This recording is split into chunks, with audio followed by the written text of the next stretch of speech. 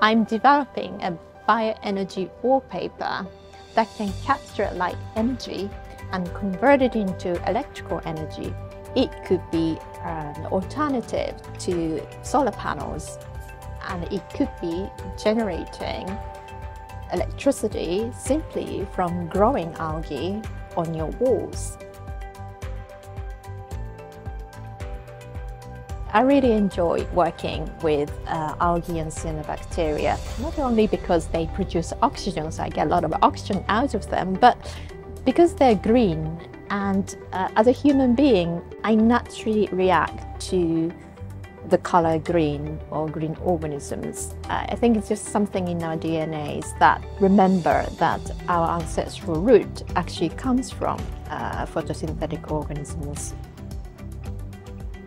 And by tapping into algae's photosynthetic power, you could be charging everything from your phones to ceiling lights to uh, little sensors. It is um, incredibly uh, green, uh, clean energy solution. I use inkjet methods to interface these photosynthetic microorganisms onto paper. And I use paper for biodegradability and also uh, paper being quite a common element in architecture, mostly in interior.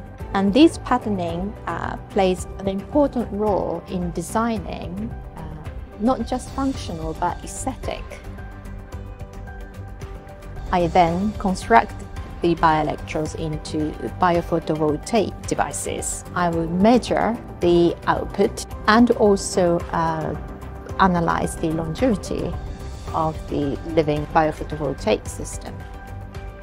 Who knows, we may have uh, photosynthetic organisms as our charging points um, across the world.